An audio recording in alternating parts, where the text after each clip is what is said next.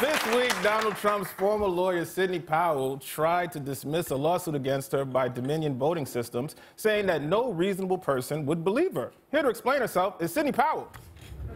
Hey, Michael. you like my little bolo tie? It's from the Western wear section at Talbot's.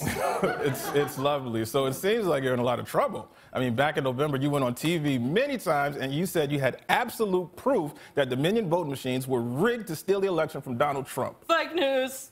I'm just repeating what you said. No, I meant me. I am fake news. Oh. According to my lawyers, nothing I say should be taken seriously. Isn't that just confusing? I'm kind of a mystery, you know? You hear the name Sidney Powell and you think I might be an esteemed older black gentleman like Colin Powell or Sidney Poitier. And yet, here I am, a white lady dressed like Fred Flintstone's mother in law. And now you're getting sued. Cheese and rice, Michael. I'm gonna beat this lawsuit, okay? I come from tough stock. My meemaw was a proud southern woman from North Carolina, and my peepaw was a wild turkey from. okay? You wait. I'm gonna release the Kraken. What is that? The Kraken is an ancient sea monster, but in this case, the Kraken is a 65 year old woman who keeps a stack of Southern Living magazines on the back of her toilet. So you're not worried about the lawsuit? Not a bit. Okay, actually, I am honored to be in the same company of other folks sued by Dominion. Patriots like former crackhead turned king of pillows, Michael Lindell, and former king of New York turned crackhead, Rudolph Giuliani. You're serious? Michael, does this face look like I'm lying? Oh, oh you, you, look like the Joker. And, and what you're saying is probably libel.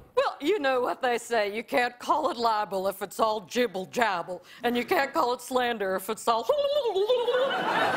Nobody says that. Michael, let me ask you a question, okay? Did you build an ark?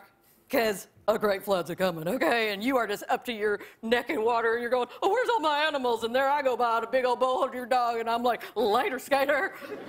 What are you talking about? I'm talking about the Kraken, son, okay? And she's gonna rod you hard and put you away wet, because when this Kraken comes out, you're gonna be walking with a limp, okay? All it's gonna be left to you is them Air Jordans just smoking, and Colin Jost out here going, Where's my friend Michael Tank? Where's my friend Michael?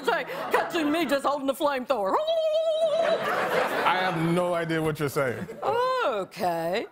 So what you're saying is I'm crazy and no reasonable person would believe me. Ah, case closed. The defense rests. Sorry, you walked right into that one. Sorry, but you did. Sidney Powell, everybody. Jibble jabble, y'all.